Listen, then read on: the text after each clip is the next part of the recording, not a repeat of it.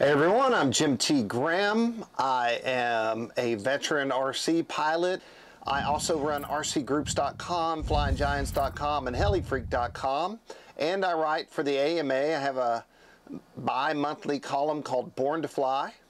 And recently I started the process of becoming a contest director. And that's why we're here today, just to talk a little bit about being a contest director, what that means, and how to make it happen. A CD makes sure uh, an event is safe and rules are followed, and if it's a contest, that fairness is maintained.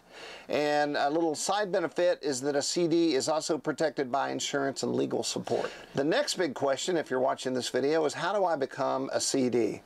First, you have to be a member of the AMA, and then the next part that you may not be asking because I didn't know to ask, is there a test? Yes, there is a test.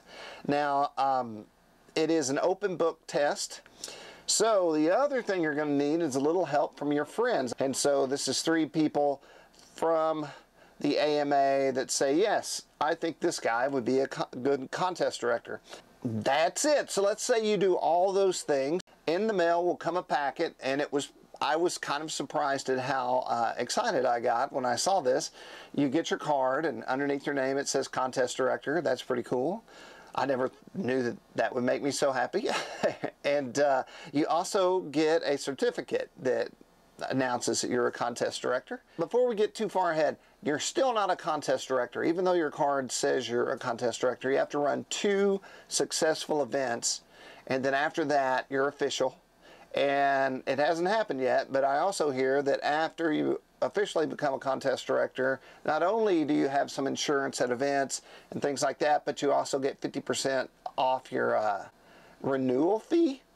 And so go do all those things, get your paperwork done, turn it in, get your card, and then go out there and have a couple of events. I guarantee being a contest director will make the hobby better for you, but even more important, it'll make the hobby in general better. I mean, RC is what we love, and by being a contest director, you're just out there supporting and making it even better. The last thing you need to do right now is contact the competitions department at the AMA headquarters and get to work on being a contest director. I'm Jim T. Graham, and I hope I've answered some questions.